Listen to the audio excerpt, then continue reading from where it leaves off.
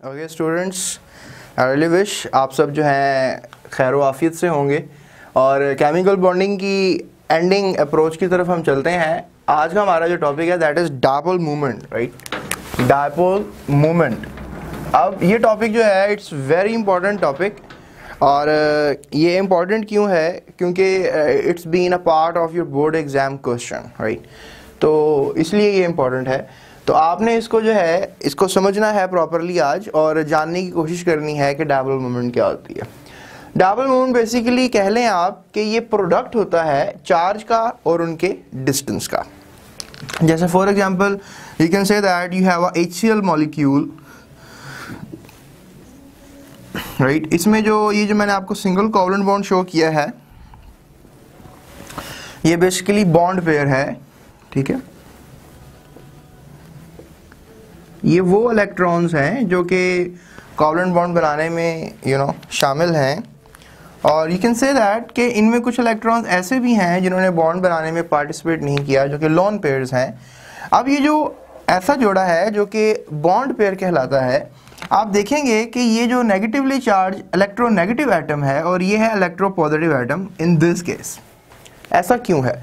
क्योंकि ये इलेक्ट्रॉनिक जोड़े को इस एटम ने अपनी तरफ़ ज़्यादा अट्रैक्ट किया हुआ है। और इस एटम ने जो है, अपनी तरफ़ ज़्यादा अट्रैक्ट नहीं किया।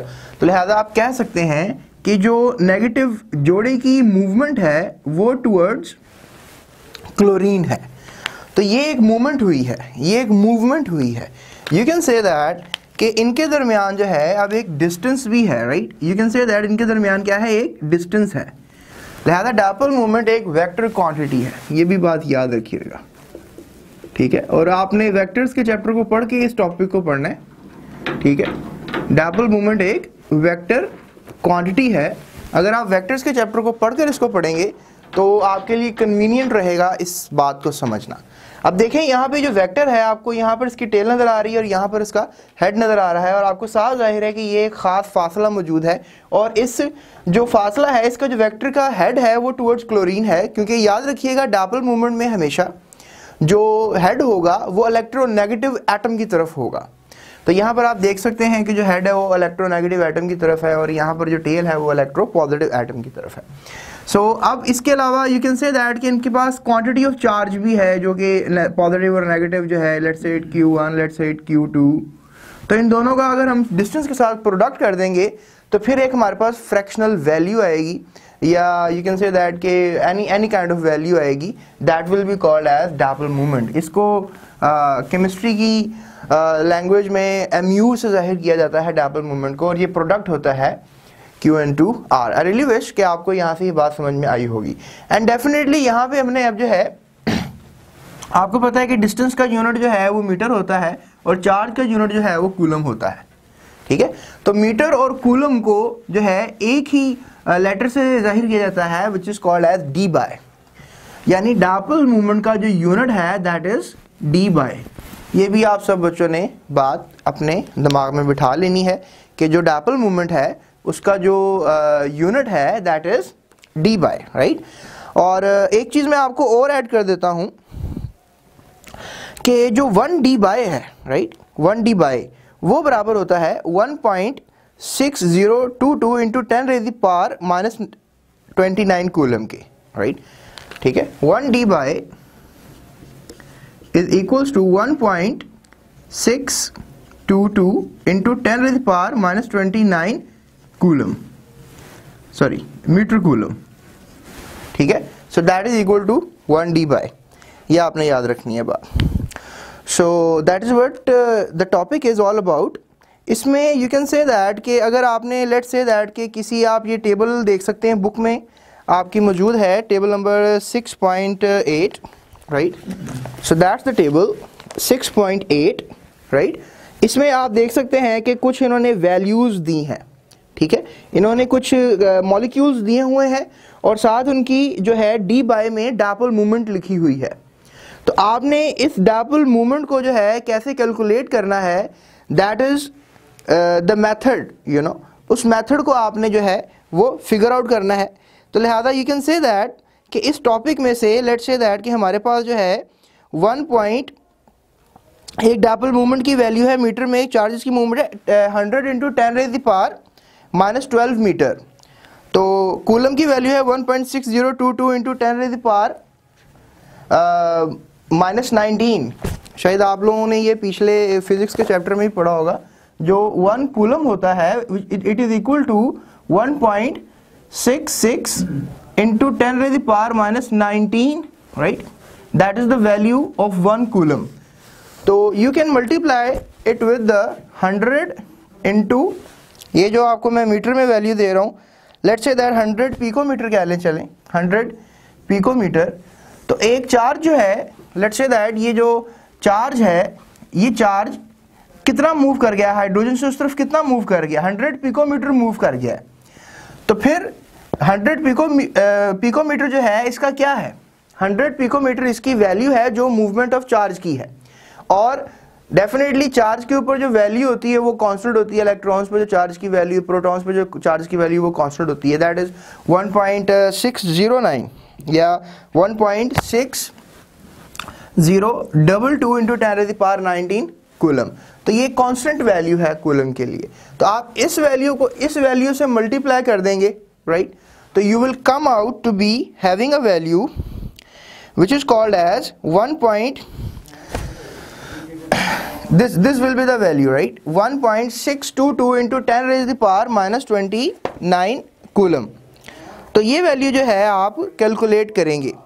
तो that is how you will say that कि जो इस मॉलिक्यूल में एक डबल मूवमेंट हुई है, वो कितनी हुई है? 1.622 point six two two into ten raise power minus nineteen coulomb तो ये आपने जो है मेमोराइज करके रखनी है बात, ठीक है? इसके अलावा मैं आपको एक और बात ऐड कर देता हूँ।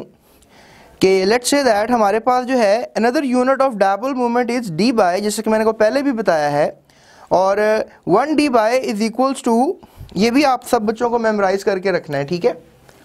अभी जो हमारे पास वैल्यू आई है दैट इज़ मीटर कूलम में वैल्यू आई है लेट्स से दैट कि ये डाबल मूवमेंट की वैल्यू आई है राइट अब मैं आपको बताने लगा हूँ कि वन डी बाय जो है, वो कितने माइक्रो कूलम के बराबर होता है, ठीक है? वन डी बाय जो है, वो कितने माइक्रो सॉरी मीटर कूलम के बराबर होता है। And that is equal to three point three point double three six into ten raise power minus thirty right that's the value so you have to memorise this value as well right अगर आप for example आप चाहते हैं कि one D by की value निकालें तो आप ऐसा भी कर सकते हैं। उसके लिए आपको क्या करना पड़ेगा?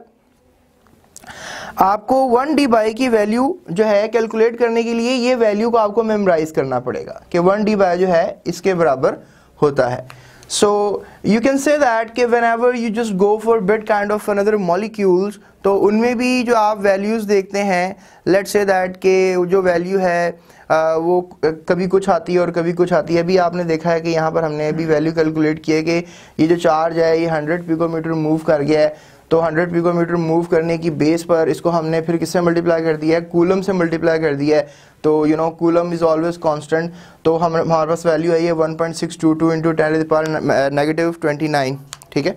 तो अब आप फॉर एग्ज़ाम्पल इसको कन्वर्ट करना चाहते हैं डी बाय में। उसके लिए क्या करना होगा आपको? इसको डी बाय में कन्वर्ट करने के लिए जो लेट से दैट कि ये वैल्यू है आपकी और ये वन डी बाय की इक्वल की वैल्यू है ठीक है? इन दोनों को आपने इनका रेशो लेना होगा यानी इनको डिवाइड करना होगा। जैसे फॉर एग्जांपल ये देखें आ, हमारे पास जो है 1.6 point six two two into ten raise power minus twenty nine micro coulomb एक वैल्यू आई है राइट और we know the one Debye जो है वो 3.336 point three three six into ten raise power minus thirty है ठीक है? सो so, अब ये दोनों वैल्यूज़ को अगर आप फॉर एग्ज़ाम्पल डिवाइड करेंगे तो you will come out to be having a value 4.8 ठीक है? 4.8 तो इसमें अब आपको डबल मूवमेंट का पता लग गया है ठीक है? Let's say that we are supposing it इसमें आपको डबल मूवमेंट का पता लग गया विच इज़ 4.8 वैसे एच की जो बुक में डबल मूवमेंट लिखी हुई है दैट इज़ 1.03 डी बाय ये एच के लिए वैल्यू है। ये भी आपको मेमोराइज रखनी है ठीक है? uh, कुछ इंपॉर्टेंट डापल मोमेंट की वैल्यूज़ हैं जो आपको हमेशा याद रखनी चाहिए। आप अभी अपनी बुक निकालें और मेरे साथ को नोट नोट कर लें। इसमें एचसीएल जो है अभी मेरी वीडियो को आप पॉज करेंगे ना फिर you can just take it on again तो एच की अंडरलाइन कर लें वैल्यू इसमें आप हाइड्रोजन की अंडरलाइन कर लें राइट इसके अलावा आप वाटर की अंडरलाइन कर लें विच इज़ वेरी इंपॉर्टेंट और उसके बाद कार्बन डाइऑक्साइड की कर लें अमोनिया की कर लें ठीक है? हाइड्रोजन पर की कर लें और इसके अलावा मीथेन मॉलिक्यूल की कर लें विच इज़ वेरी इंपॉर्टेंट और इथानॉल मॉलिक्यूल की कर लें, ठीक है? ये मॉलिक्यूल जो मैंने भी आपको बोले हैं you can rewind my video इसमें आप देख सकते हैं कि ये इंपॉर्टेंट वैल्यूज़ हैं जो आपने याद करनी है। अब देखें, मैं आपको एक और केस यहाँ पे थोड़ा समझाता हूँ। एक और केस में जो है, अब हम क्या देखेंगे?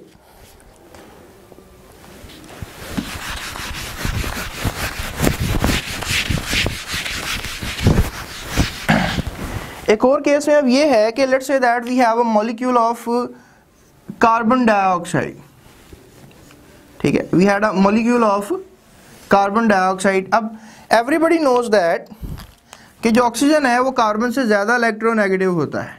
सो पार्शियल नेगेटिव चार्ज इधर आएगा और पार्शियल नेगेटिव चार्ज इधर आएगा।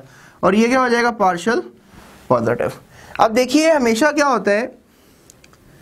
कि जो डबल मूवमेंट होगी, वो पॉजिटिव से नेगेटिव की तरफ़ होती है। जैसे मैंने अभी पिछले भी, अभी थोड़ी देर पहले आपको मैंने ये बात समझाई है। और यहाँ पर भी ऐसा ही होगा कि जो पार्शल नेगेटिवली चार्ज एटम है, वो इस तरफ़ भी ऑक्सीजन है। अब आपने देखें वेक्टर्स के चैप्टर में पढ़ा होगा कि जो वेक्टर्स इक्वल इन क्वांटिटी हों, या कह लें इक्वल इन मैग्नीट्यूड हों, और ऑपोजिट इन डायरेक्शन हो तो वो क्या हो जाते हैं? कैंसिल हो जाते हैं। तो यहाँ पर देखें ये जो वेक्टर्स हैं, ये, अब दोनों क्या हैं? ऑपोजिट इन डायरेक्शन है। ये लेट्स से दैट के इस डायरेक्शन में है टुवर्ड दिस ऑक्सीजन और ये इस डायरेक्शन में है towards another oxygen so let's say that it's moving toward the west and it's moving toward the east तो east and west are there and they are equal in magnitude and but they are opposite in direction तो ये दोनों vector क्या कर देंगे? Cancel कर देंगे। यानी हमारे पास जो डाबल मूवमेंट आएगी वो 0.0 डी बाय आ जाएगी। क्योंकि जो हमारे पास बेशक इलेक्ट्रॉनिक पेयर जो है वो मूव तो किया है, लेकिन दोनों साइड भी इक्वल कर गया है। तो फिर डबल मूवमेंट तो हुई है क्योंकि वेक्टर्स के लिहाज से देखा जाए तो डबल मूवमेंट जो है वो क्या है? ज़ीरो है। क्योंकि ऑपोजिट इन डायरेक्शन है तो इसलिए यू कैन से दैट कि कार्बन डाइऑक्साइड मॉलिक्यूल इवन दो इलेक्ट्रोनेगेटिव इलेक्ट्रो पॉजिटिव एटम होने के बावजूद भी जो है वो क्या होगा? नॉन पोलर होगा। अभी नॉन पोलर क्यों है? क्योंकि उसकी जो डापल मूवमेंट है, वो क्या है? ज़ीरो है। इसके अलावा आप देख सकते हैं, हमारे पास एक और मॉलिक्यूल है। इसमें हमारे पास ऑक्सीजन है। आपने देखा होगा, इसमें दो लोन पेयर होते हैं। ठीक है? It contain two lone pair right and it contain hydrogen as well तो आप इसमें जो है, क्या देख सकते हैं कि यहाँ पे हमारे पास जो है, एक वेक्टर है। ठीक है? यहाँ पे हमारे पास जो है एक वेक्टर है। और आपको पता है कि ये मैंने एरो इस तरफ़ क्यों बनाया क्योंकि यू नो दैट कि ये जो एरो है इस तरफ़ इसलिए बनाया है क्योंकि ऑक्सीजन ज़्यादा इलेक्ट्रोनेगेटिव है so partial negatively charge around here and यहाँ पे जो है वो पार्शल पॉजिटिव चार्ज होगा। अब इस केस में भी आप देख सकते हैं कि जो यू कैन से दैट कि जो इलेक्ट्रॉनिक uh, मूवमेंट है इलेक्ट्रॉन पेयर की, वो सेम है, यानी जो वेक्टर्स की मूवमेंट है, वो आपको दोनों तरफ़ सेम नज़र आ रही है। थोड़ा सा एंगल बीच में बन रहा है, जो आपको पता भी है one O four point five degree का एंगल है। लेकिन दोनों वेक्टर जो है they are moving toward the same side of the oxygen तो इससे मतलब है कि ये अब वेक्टर्स कैंसिल नहीं कर रहे एक दूसरे को। तो जब ये वेक्टर दूसरे को कैंसिल नहीं कर रहे तो डेफिनेटली कोई ना कोई डापल मूवमेंट की वैल्यू आएगी। एंड यहाँ पर जो डापल मूवमेंट की वैल्यू आएगी, वो होगी 1.85 डी बाय ठीक है? और 1.85 डी बाय का मतलब है कि पानी जो है वो काफ़ी हद तक एक पोलर मॉलिक्यूल है। यानी यू कैन से दैट कि डाबल मूवमेंट हमें काफ़ी हद तक हेल्प करता है कि कोई चीज़ पोलर है या पोलर नहीं है। अमोनिया भी एक पोलर मॉलिक्यूल है, ठीक है? और, लेकिन नाइट्रोजन ट्राइफ्लोराइड एक नॉन पोलर मॉलिक्यूल है। ये हायर क्लासेस में जाकर आप इस चीज़ को नोटिस में लेकर आएँगे। So I really wish double movement आपको थोड़ा सा समझ में आया होगा क्या होता है। It's the product of electrical charge and the distance between the positive and the negative right centres so you can just say that is the distance between the positive and the negative centres and obviously M U is equal to Q and to R Q is the charge and R is the distance right so that's that's the equation that's the concept that's the topic and I really wish कुछ ना कुछ आपको इसमें से ज़रूर हासिल हुआ है। Thank you so much